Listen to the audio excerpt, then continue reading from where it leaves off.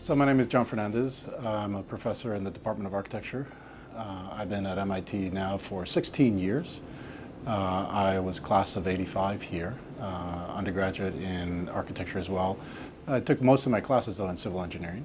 Um, the work that I do has been with materials for buildings, for the built environment.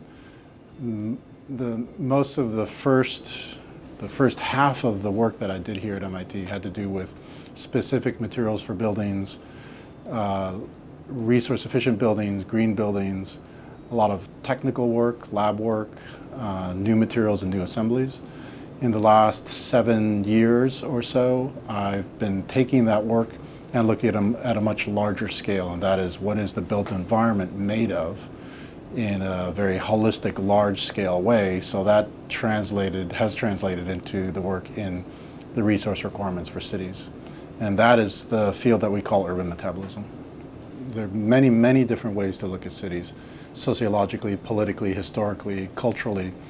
Um, and cities have been very, very well studied. Um, but they have been less well studied in terms of the res resources that are required to run them. So to, to run their economies, to uh, deliver critical resources to the population, to um, run infrastructure in a way that um, there's a certain level of provision of water, energy, materials, food.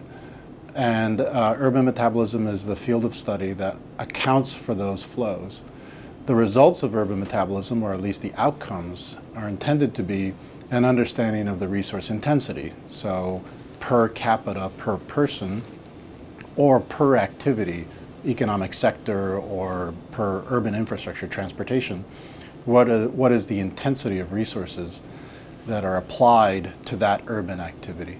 What will it take to reduce the kinds of resource intensities that, that we have today, but continuing to, to grow and expand the amenities and the livability of our cities? Cities, cities have been studied, urban economies have been studied um, very deeply. Um, their history and their culture have been studied.